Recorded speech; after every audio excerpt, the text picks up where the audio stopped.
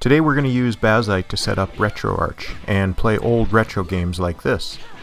Without any further delay, let's get into it. We're going to head over to the website for RetroArch and this is if you're looking for Windows or a different distro for Linux. And what we're going to cover here is getting it manually, but then I'm going to show you also for anybody who's using Bazzite to go into the Bazaar and get that. After that, then everything else stays the same, setting up RetroArch inside the software itself. Once you have that downloaded, you can just double click it and run it as an exe or an sh file if you're running a different Linux to install RetroArch. Now if you're running Bazzite, you can actually use the Bazaar for this. So head into your Bazaar, find RetroArch, and double click on it. You can confirm that it's got an updated version, and then you can go ahead and install by just clicking the install, and that'll be it you'll now have an icon pop up in your games applications and then we can just go in it from there. The next thing we have to do is head into RetroArch and we're going to set up our UI. And I'm using XMB because it is the most familiar. I mean, it looks like PlayStation if you're familiar with it, and it sort of resembles Air if you're used to that. So you can change that by going to your settings and then going down, and of all places to put it, it's in the drivers. So once you go into there, you can take a look at those. There's four other choices by default. It will start on Ozone, but you can select it with XMB, and then you exit the software or RetroArch, and then you can restart the game, and it'll look like this. The next thing we have to do is head over to Load Cores. Here we're going to get some software that's going to make our emulators work. So we're going to download a core, and if it doesn't pop in right away, just back out and go again and it should show up. So there's a lot to choose from here. The best advice I can give you here is just to go online, check out which one is recommended, and go find the ones that you need for the games that you have installed. In my case, I'm looking for the Sega Dreamcast. So I'm going to double click on this and then it'll start downloading and then I've got the core. After that, we head over to import content. We're going to scan the directory now the directory is the place that you have the ROM saved. So in my case, I have it on desktop and then in a folder called ROMs. We're going to scroll down until we select that. We're going to select our Dreamcast and then we're going to scan this directory. Once we're done scanning the directory, it'll show up and then we can back out and head all the way back over to take a look at the game, see if it is installed now. As you can see, there is no box art with it. Now, if we wanted to, we could click on it and play, but I'm going to show you how to install box art. So we're going to head back over to the main menu. We're going to go to Online Updater, and then we're going to scroll down to Playlist Thumbnails Updater. This will scrub the internet for your box arts. So each one that you have categorized different consoles, you're going to choose that and then it'll just go search out all the games that's in there. It'll grab any box art that it can, and then it'll automatically install it. So once that's good to go, we can hit run, and then it will prompt you to choose which core you want. So you're going to choose the core you want, and it'll enter into the game. Now, if you want to exit the game and you're using a controller, you can hit the start button and the main button in the middle there and that will back it out or you can hit the escape key if you're using the keyboard. So we're going to back out of that and we're going to get one more thing before we can try out some of these games and that is getting the core system files. These include things like the BIOS or any other necessary files that an emulator may need. So we're going to head over to the main menu. We're going to scroll down to Online Updater and here you're going to find the core system files downloader.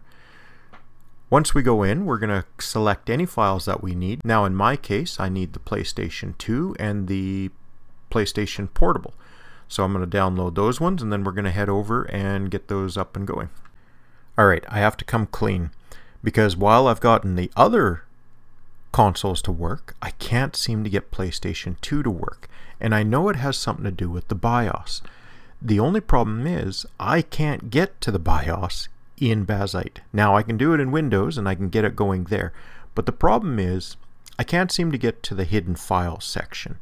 And this could be one of the pitfalls to using Linux for this, specifically Bazzite, because I can't get into the... I know the folder and I know where I want to get to, I can't get to it.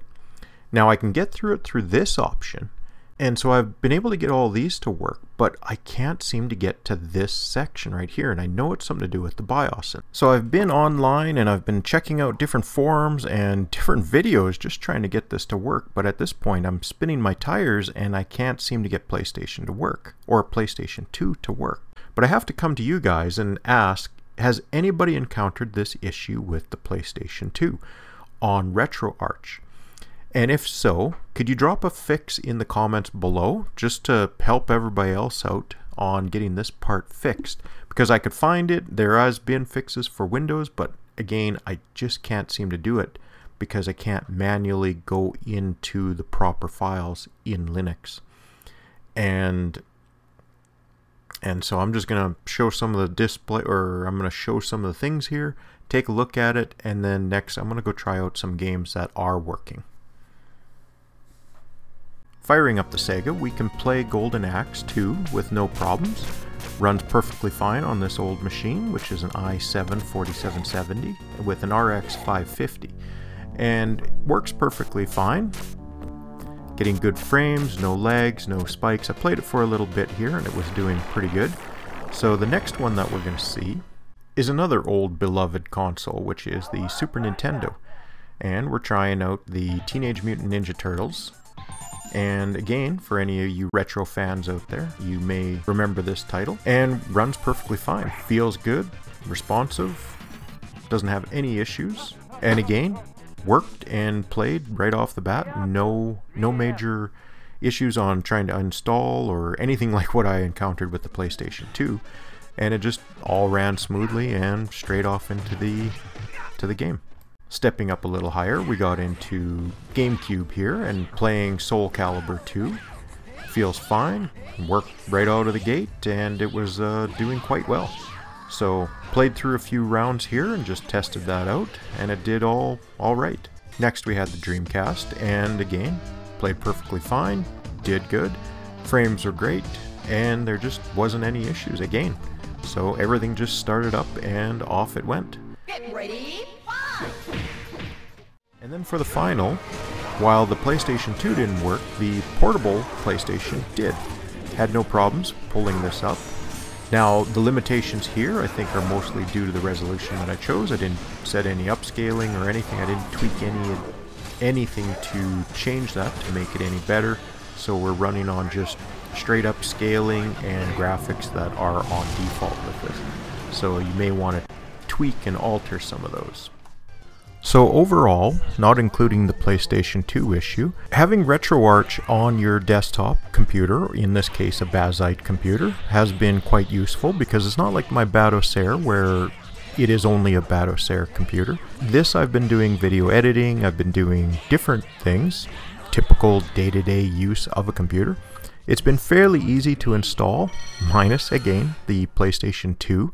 But again, if you have any fix, just leave it in the comment and then help a few people out there. Now, if you want to see other updates, I am also making a little bit of a larger series based around Bazzite with this sort of build, as well as how to install Bazzite on an old PC. Because as we all know, Windows 10 is coming to an end in the future, so that's something to think about if you have one of these old PCs kicking around. Now, if you found this video useful, like, subscribe, it goes a long way for helping out a little channel like this. So thank you, and have a good day.